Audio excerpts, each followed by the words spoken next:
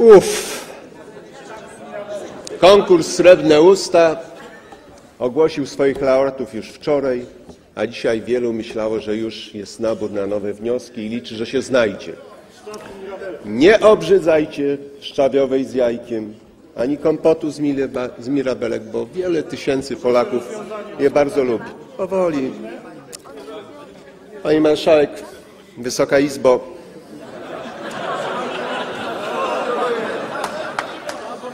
Panie Marszałku, no, zniknął nie tylko kandydat na premiera, nie tylko ten, który go rekomendował, ale także inni poszli do swoich obowiązków, co pokazuje, że debata wkroczyła w okres frywolny. Pytanie tylko, czy tym, którzy ją z uwagą obserwują, czy wszyscy ci, którzy ją słuchają, są tak samo usatysfakcjonowani jak i my? Nie sądzę. Wczoraj przyleciałem z Hanoweru, gdzie była bardzo udana prezentacja przez dwa dni i trwa dalej tego, co w polskiej gospodarce najlepsze. Sektora innowacyjnego, elektroniki i telekomunikacji, gdzie po raz pierwszy na światowych targach staliśmy się krajem partnerskim. Po raz pierwszy ponad 200 polskich przedsiębiorców mogło pokazać swój sukces. Gdybyśmy słuchali tej debaty, to można powiedzieć, że ich sukces jest sukcesem wbrew polityce i politykom. Bo polityka i politycy im każdego dnia ten sukces ograniczają albo go odbierają.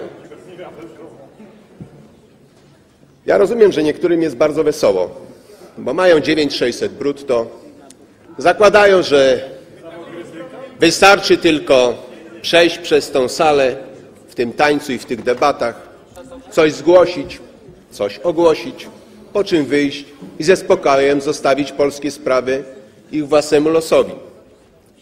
Wydaje się jednak, że ta debata dzisiejsza i ta postawa polityki i polityków wobec tego, co nie tylko w polityce, ale w sprawach państwowych najważniejsza, pokazuje naszą, do rzeczy, panie pośle, naszą największą słabość.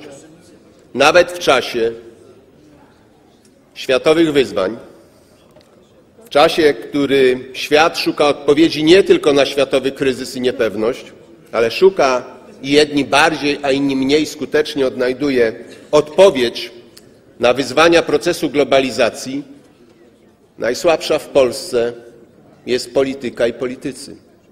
Brak wyobraźni, brak skłonności do kooperacji i deklaracje, że pojedziemy w Polskę, ale po to, żeby napuszczać albo oceniać jednych na drugich, a nie pojedziemy w Polsce w imieniu polityki i polityków, po to, żeby ludzi mobilizować i jednać wokół spraw wspólnych, spraw ważnych. Okazało się, że dzisiaj w tej debacie role są jakby podzielone. A nawet ku zdumieniu, mimo że wniosek składa ugrupowanie prawicowe, to także toczy się pewien bój na lewicy. Jaka jest waga Ryszarda Kalisza w polskiej polityce? Jest duża. Ale co to wnosi do dzisiejszej dyskusji i co to wnosi do problemów tych, którzy patrzyli z nadzieją, a jest jakaś grupa obywateli, którzy uwierzyli w ten pomysł rządu technicznego, mechanicznego czy chemicznego. Wysoka Izbo, panie premierze, panie nieobecny prezesie Kaczyński, panie Piotrze Gliński, instrumentarium demokracji stosowanej to także dobrodziejstwo składania Wysokiej Izbie pod rozwagę wniosków, również wniosku o konstruktywne wotum nieufności. Zaznaczam konstruktywne. O ile pod względem formalnym jest wszystko w porządku, to w myśl zasad semantyki i semiotyki pobrzmiewa tu wielce wyrazisty dysonans związany z określeniem konstruktywnym w potocznym rozumieniu. Na długo przed dzisiejszą debatą jej końcowy efekt był równie przewidywalny, co przegobaty swej postaci indeks podnoszonych we wniosku spraw. No przypomnę, pan prezes Kaczyński uzasadniając wniosek wskazał 12 przestrzeni, za który trzeba odwołać wniosek, rząd. Następnym razem, być może inny prezes innego ugrupowania parlamentarnego, jeśli pójdziemy dalej tą drogą, a warto i przed tym uprzedzam, abyśmy dalej już nie szli, bo jest to droga donikąd i psa Saby także w tej drodze nam nie potrzeba. Jest szansa na Mendel, czyli 15, jest szansa na Kopę, czyli 60, A jeśli się ktoś bardzo rozpędzi, to do wyborów 2015 roku będzie miał gros 144. Może zaskoczę klub PiS i część Wysokiej Izby, ale muszę i chcę to powiedzieć.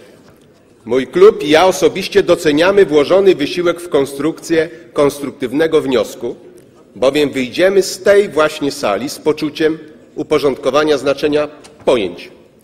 Ich wymowy, które obnażyły pewnie wbrew intencjom autorów cały relatywizm oceny rzeczywistości, z jakim tu dzisiaj i nie tylko dzisiaj mamy ostatnio do czynienia. Bo odnosić trzeba wrażenie, że wnioskodawcy z wyraźnym ubolewaniem nie znaleźli dość wyobraźni, by zmierzyć się z wyzwaniem sporządzenia katalogu, w którym pomieściliby zarzuty wypowiedziane z przewodniej konstatacji, że dla tej koalicji tym lepiej im gorzej. Jednak nie wszystko potępiam w czałgu. Nie we wszystkim dostrzegam stygmat naturalnego w tej konwencji prezentowania sprawy i wniosku wyolbrzymiania rzeczywistych problemów.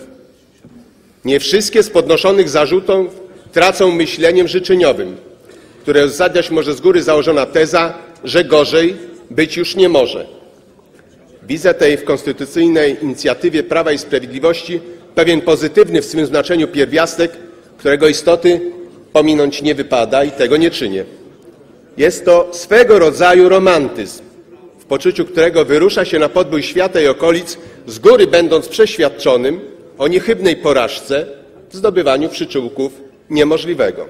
Szczerze wierzę, że Wysoka Izba swej zdecydowanej większości wniosek odrzuci, bo nie może być zgody na ułańską fantazję, której pokłosiem miałyby być gospodarcze różewiczowskie termopile z panem profesorem Piotrem Glińskim w roli samozwańczego Leonidasa. To nie tak miało być, powiadacie Państwo wnioskodawcy.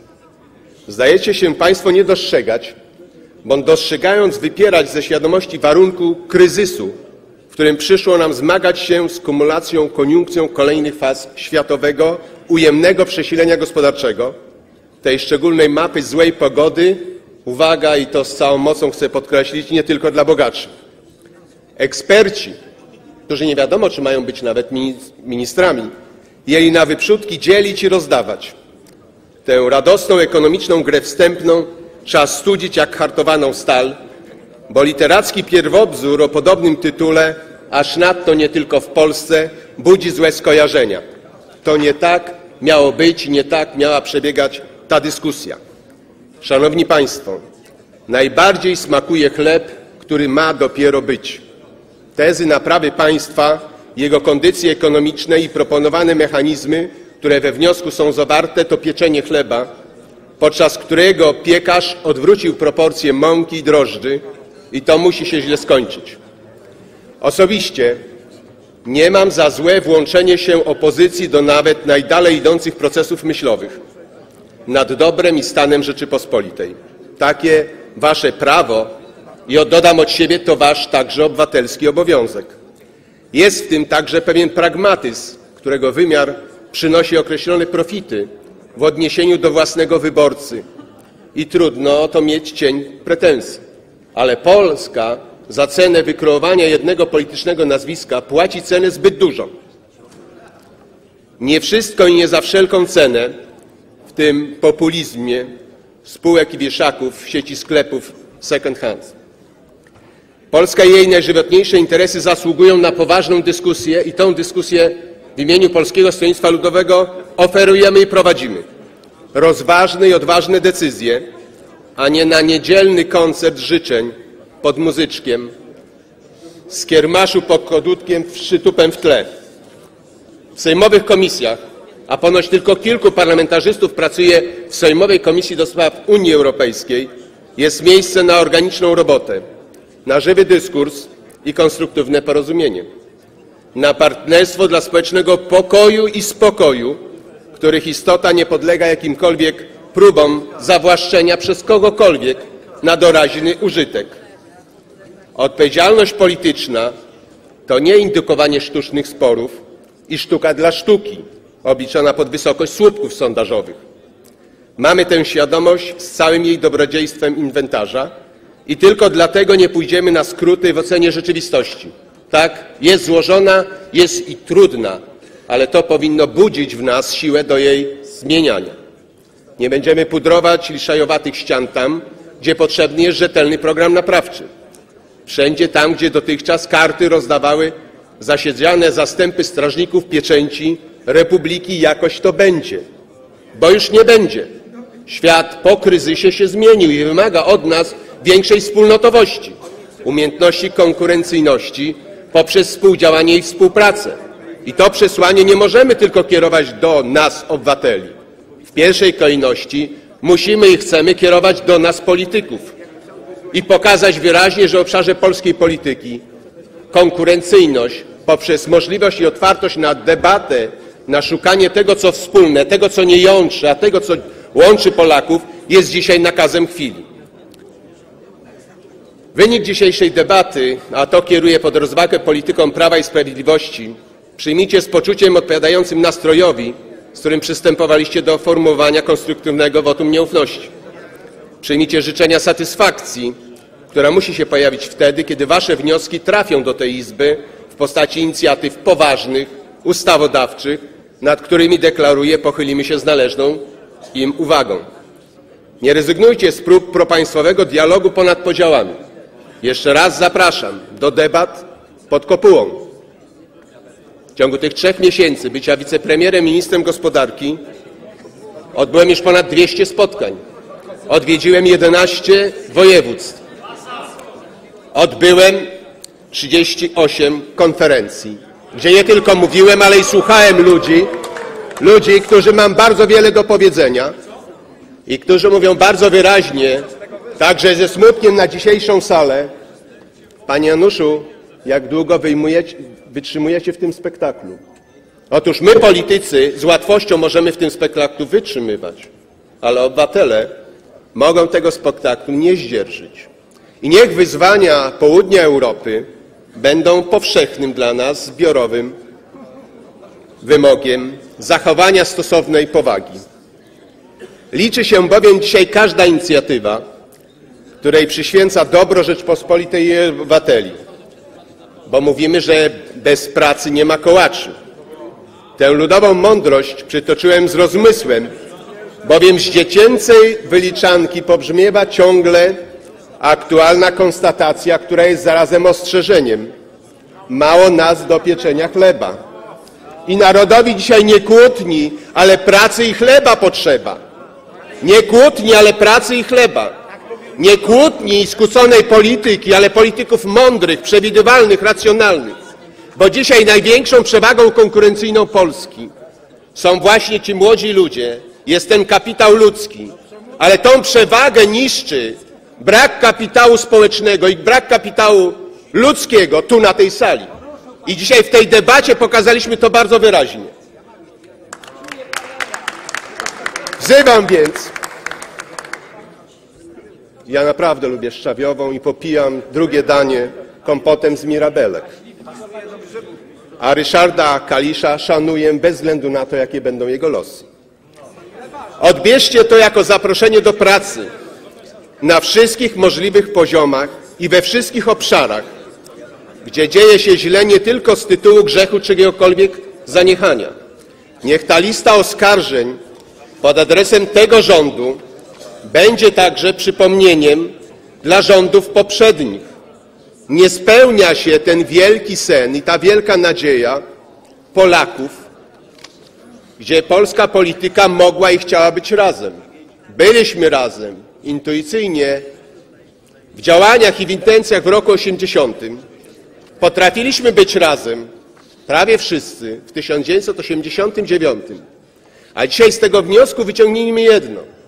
Może czas na moratorium w relacjach pomiędzy koalicją i rządem, a opozycją. Takie 12 miesięcy, w której polska polityka skoncentruje się na wspólnym wyartykułowaniu tego, co istotne co i ważne. Tej naszej narodowej, a nie partyjnej, koalicyjnej czy opozycyjnej odpowiedzi na zjawiska globalne. Ja wiem, że niektórym globalizacja nie kojarzy się z tym, co pod tym słowem się kryje. Ale 30 czy 40 lat temu Korea była daleko poza pierwszą pięćdziesiątką, jest dzisiaj ósma, a tu na tej sali niektórzy już wprowadzają nas do pierwszej dwudziestki. PSL ma to pełne przekonanie, że dzisiaj odpowiedzią na agresję, na niechęć i nienawiść w polityce jest inna, aktywna oferta, debata, konsensus i kompromis. A ci, którzy nadużywają chęci radykalnego pchania Polaków na siebie do konfliktu, przegrają. Jestem o tym przekonany. Dziękuję.